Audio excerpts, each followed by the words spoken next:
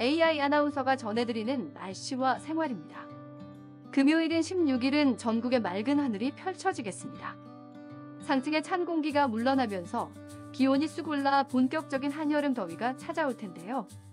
낮 기온이 30도를 웃도는 곳이 많겠고요.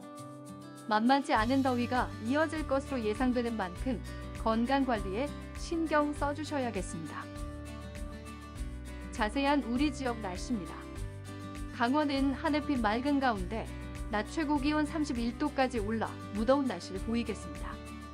강한 햇볕 아래 자외선 지수가 매우 높은 수준을 보이겠고요. 오존 농도 또한 높겠습니다. 한낮에 지치기 쉬운 만큼 실내에서 충분한 휴식에 힘써주시기 바랍니다. 강원 아침 최저 기온은 춘천과 원주 17도에 분포합니다. 낮 최고 기온은 속초 29도, 강릉 31도, 동해 27도입니다. 주간 날씨입니다.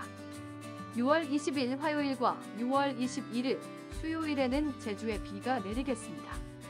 정체 전선은 당분간 제주도 남쪽 먼해상에 위치하면서 우리나라에 영향을 줄 가능성은 낮겠습니다. 다가오는 주말과 휴일에는 맑은 가운데 구름만 조금 지나가겠고요. 후반으로 갈수록 기온이 더욱 오르는 만큼 여름 무더위에 대비해 주셔야겠습니다. 자세한 기온 살펴보겠습니다. 6월 17일 토요일부터 6월 21일 수요일까지 아침 기온이 19도에서 23도에 분포하겠고요. 한낮 기온은 27도에서 34도로 평년보다 높겠습니다. 주변 기압계의 흐름에 따라 예보가 변경될 가능성이 있으니 앞으로 발표되는 최신 예보를 참고하시기 바랍니다.